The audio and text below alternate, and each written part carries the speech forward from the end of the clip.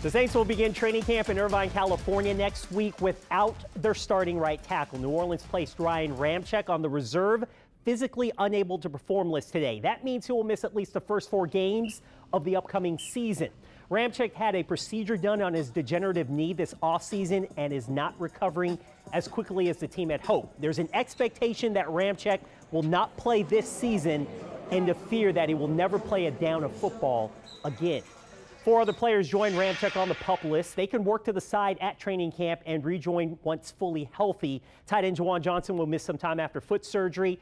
And new defensive end Chase Young is still recovering from neck surgery, but he is expected to participate at camp. Tanoh Kpassagnon and Nephi Sewell also land on the physically unable to perform list.